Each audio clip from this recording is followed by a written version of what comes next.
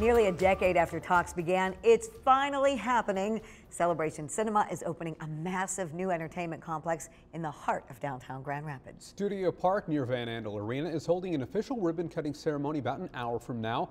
13 on your side, Sarah Makuta is there now live checking out the brand new development. And Sarah, what are the developers, what do they hope Studio Park is going to be bringing yeah. to down, downtown Grand Rapids in specific? Absolutely, Nick. Well, first of all, it is windy out here tonight. Everybody coming down here, bundle up. The developers, though, say this is the missing piece to downtown Grand Rapids. It's going to attract families, it's going to attract young people to come to downtown Grand Rapids and ultimately make this a much walker-friendlier city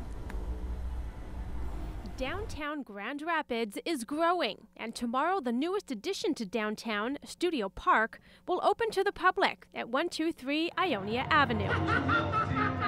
Today, 13 on your side got a behind the scenes look at the new 62,500 square foot development, including a 200 seat concert venue, loft apartments, and a nine screen movie theater. The entire orientation of the project is designed around connecting the north and south parts of downtown.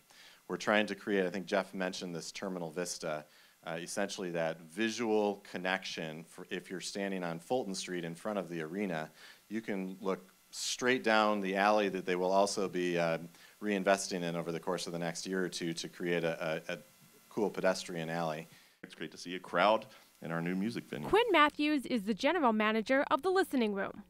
He says construction wise, this was 17 months in the making, but more like a decade long plan. Really, if you think about it, I would say 10 plus years in the making with everything from the time the Loeks family uh, thought about bringing movies back downtown um, and also uh, expanding to restaurants. The opening represents a homecoming of sorts for the Loeks family, who opened their first theater downtown in 1944. The opening of Studio Park brings a great deal of opportunity and growth to the city of Grand Rapids. And possibly the best thing about Studio Park free parking for movies.